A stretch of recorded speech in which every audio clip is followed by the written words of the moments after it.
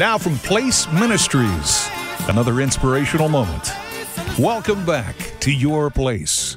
2 Timothy 2 2 says, In the things you have heard me say in the presence of many witnesses, entrust to reliable people who will also be qualified to teach others. Paul understood the impact his teaching had on young Timothy. Timothy had a front row seat, and Timothy was able to witness Paul in action in various ministry settings. And Paul, in return, expected Timothy not only to apply what he learned to his own ministry, but to teach others so that they can teach others. Now, I'm not Paul, but the concept of multiplication is the intention that I have every day with this devotion.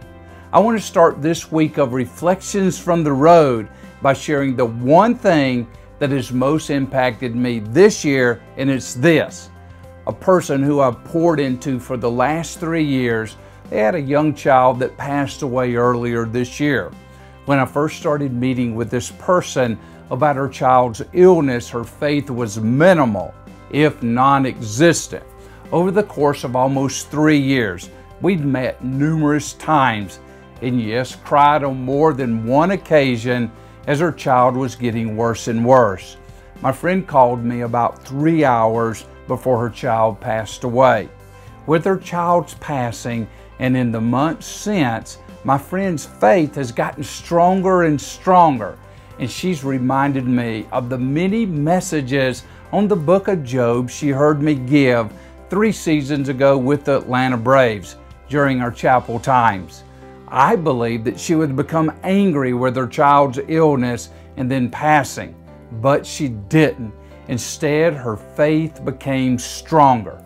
In living out your place in life and ministry, the most impactful lesson I learned is one I hope you too will learn. God's Word, even in times of distress and loss, does not return void when we are faithful to speak it. Your Place is a weekday devotional from Place Ministries. Our focus is helping followers of Christ know how and why God created them and be encouraged to do what God created them to do in life and ministry. For a list of free resources, go to placeministries.org and join us every weekday right here at your place.